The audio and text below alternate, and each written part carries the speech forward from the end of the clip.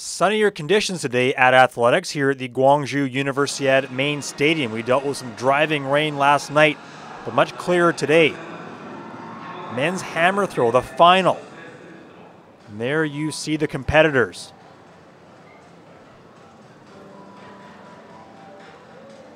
We will first take a look at Pavel Fajdek.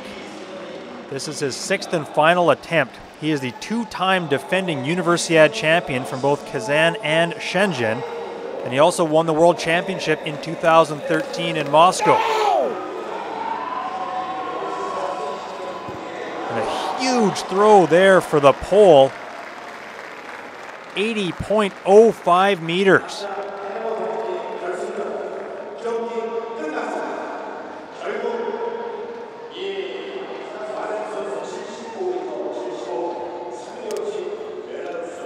We'll now move on. This is Pavel Bareisha of Belarus. He has a personal best of 77.03 meters he set earlier this year.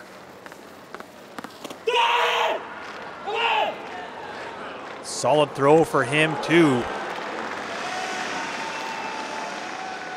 As his coach looks on.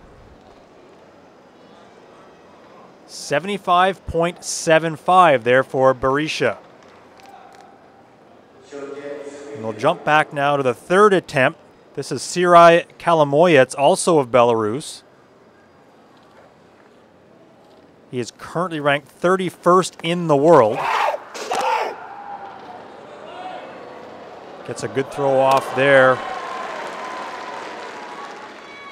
And he will score 74.68 on this throw. That'll be his best of the day and enough to put him in third spot.